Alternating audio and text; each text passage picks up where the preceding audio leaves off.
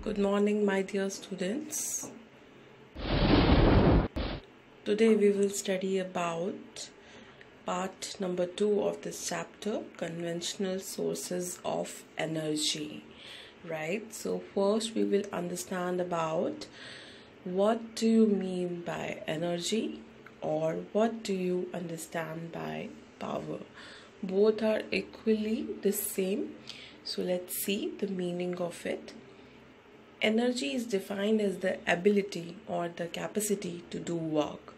Energy lights our cities, powers our vehicles, and runs machineries in the factory.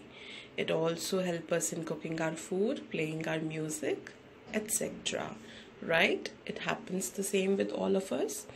Energy can be generated from fuel, minerals like coal, petroleum, natural gas, uranium, from electricity.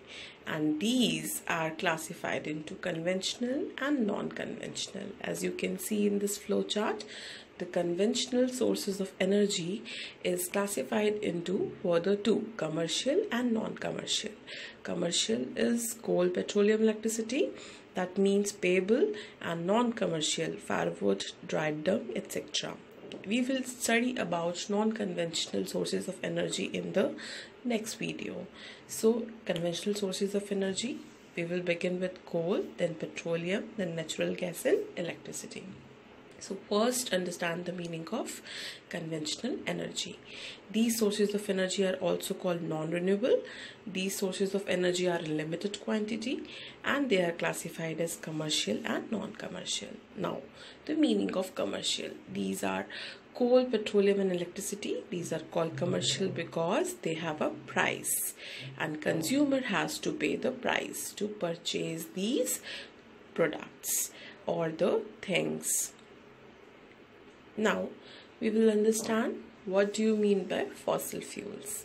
Fossil fuel are fuels formed by natural process such as decomposition. Decomposition is done by decomposers of buried dead or organisms. Fossil fuel contains high percentage of carbon. Now, coal, petroleum and natural gas are considered non-renewable. Why? Because they cannot be replenished in a short period of time. They takes billions of years to form. So that's why these are called fossil fuels okay so moving on to the first one that is our coal. Coal is also called a fossil fuel because it was formed from the remains of vegetation that grew as long as 400 million years ago. It is also known as buried sunshine. Why? Because the plants which formed coal captured the energy from the sun with the process of photosynthesis. Okay Coal is a non-renewable source of energy. It is a fossil fuel and buried deep inside the earth. That's why it is also known as the buried sunshine. And in India, coal is the most abundant. That means available in large quantities. Okay, there are three types of coal: lignite, bituminous, anthracite anthracite is a very high quality of hard coal okay? And it is found in godavari mahanadi etc now the second one that is petroleum. Petroleum is formed from the compression of animals and plant remains over millions of years. Petroleum has to be drilled for because it is usually located deep below the earth's surface and is then refined to produce a number of different products including gasoline heavy fuel oil and diesel fuel. All these are made up from petroleum 63% of petroleum comes from Mumbai, 18% from Gujarat, and 16% from Assam's Digboi. Okay, petroleum refineries act as the industries for our fertilizers, synthetic materials, etc.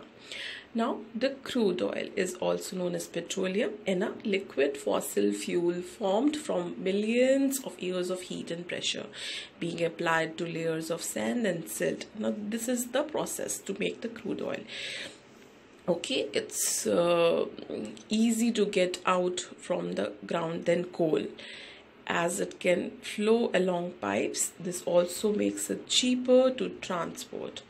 Now, crude oil is called petroleum and often referred to as black coal.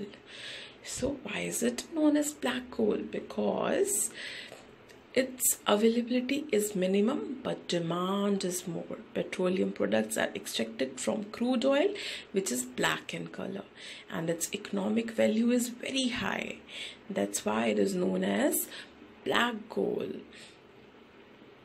Now natural gas, our third conventional source of energy. It is the purest form is pure methane but before it is refined it also contains some amount of ethane and propane butane and carbon dioxide. Okay? Uh, it is colorless and odorless. It does not give any smell.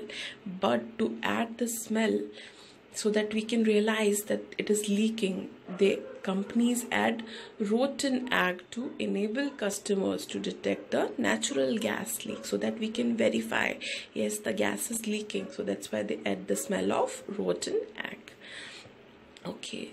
Natural gas is a very environment friendly and we can use it in in the form of cng and uh, these are the famous companies that uh, make the natural gas ONGC Reliance Industries Limited in Rajasthan okay now our last part that is electricity. Electricity is generated mainly in two ways by running water which drives hydro turbines to generate hydroelectricity and by burning other fuels such as coal petroleum and natural gas to drive turbines to produce thermal power.